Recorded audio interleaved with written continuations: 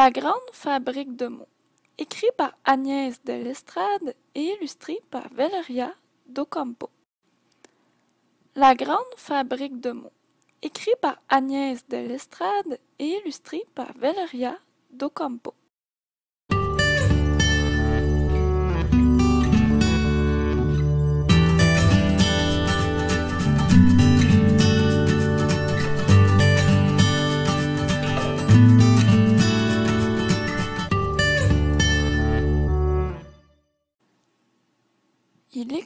Un pays où les gens ne parlent presque pas. C'est le pays de la grande fabrique de mots.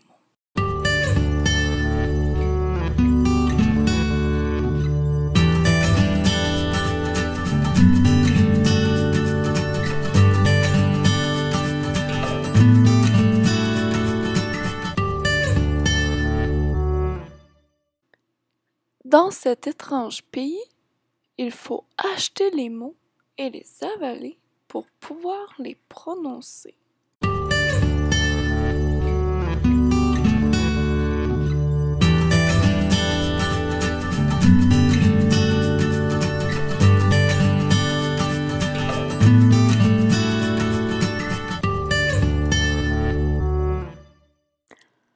La grande fabrique de mots travaille jour et nuit.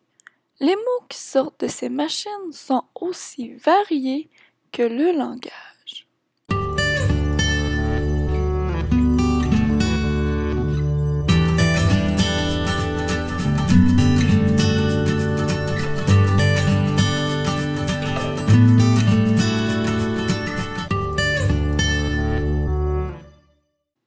Il existe des mots qui valent plus cher que d'autres. On ne les dit pas souvent, sauf si on est très riche. Au pays de la grande fabrique, parler coûte très cher.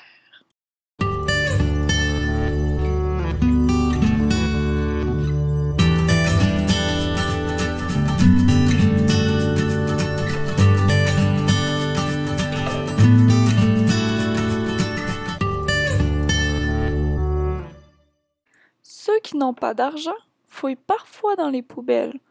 Mais les mots jetés ne sont pas très intéressants. Il y a beaucoup de crottes de bique et de fesses de lapin.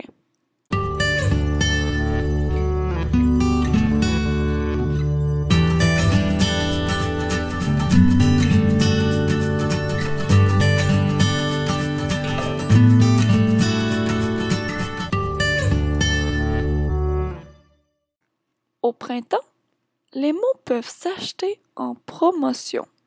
On part avec un lot de mots pour pas cher. Mais souvent, ces mots ne servent pas à grand chose. Que faire avec ventriloque et philodendron?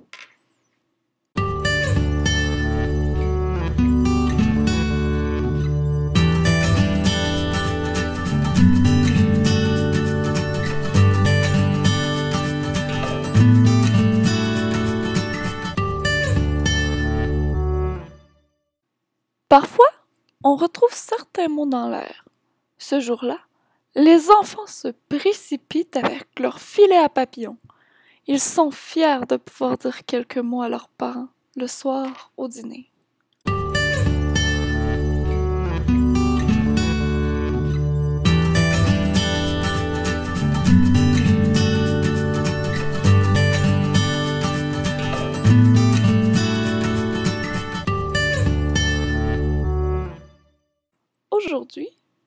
Phileas a attrapé trois mots dans son filet.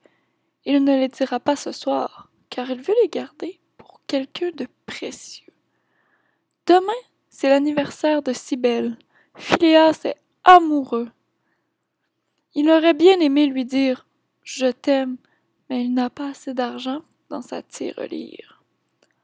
Alors, il lui offrira les mots qu'il a trouvés cerise, poussière, chaise.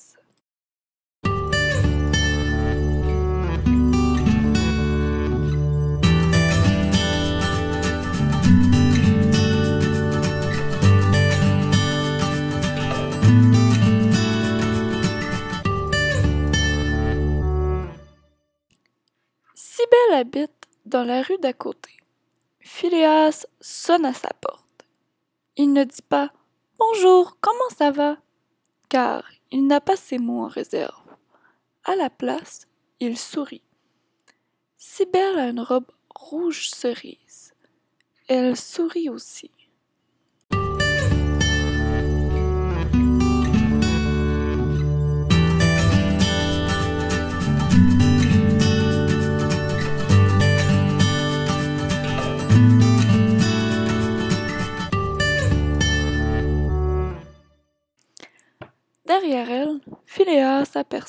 Oscar.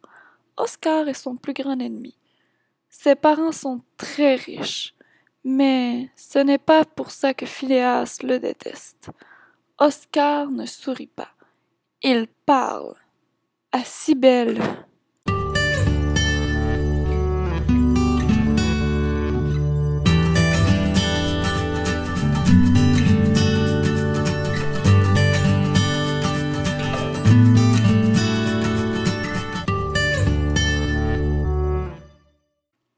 Je t'aime de tout mon cœur, ma si belle. Plus tard, je sais, nous nous marierons.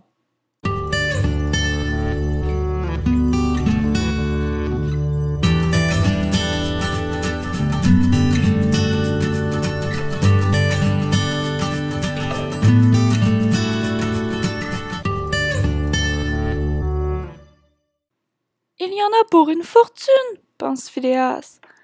Cybèle sourit toujours, et Phileas ne sait pas à qui s'adresse son sourire. Dans les yeux d'Oscar, il y a tant d'assurance. Mes mots sont bien petits, pense Phileas. Il prend une grande inspiration et, surtout, il pense à tout l'amour qu'il a dans le cœur. Puis, il prononce les mots, attrapés dans son filet. Les mots volent vers Cybèle. Ils sont comme des cailloux précieux.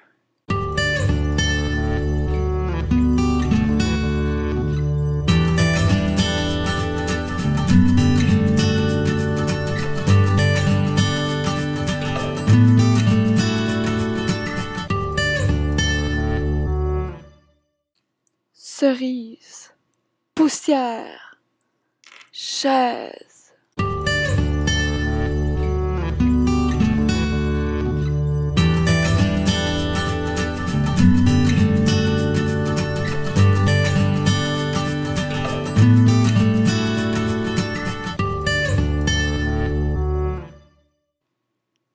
Cybèle ne sourit plus.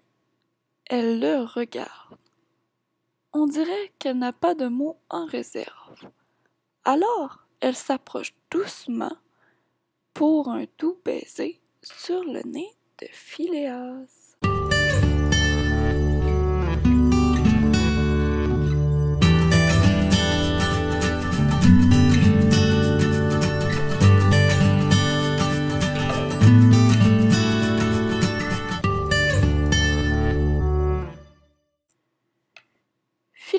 N'a plus qu'un mot à dire. Il l'a trouvé il y a longtemps, dans une poubelle parmi des centaines de crottes de biques et de fesses de lapin. Ce mot, il l'aime beaucoup. Il le gardait pour un grand jour. Et ce grand jour est arrivé. En regardant Cybèle droit dans les yeux, il dit Encore.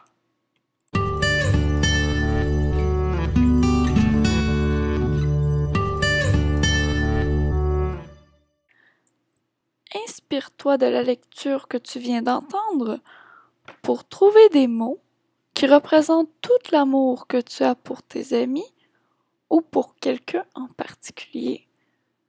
Tu devras donner un prix à ces trois mots et expliquer pourquoi tu les as choisis. N'oublie surtout pas de découper chacun de tes trois papiers.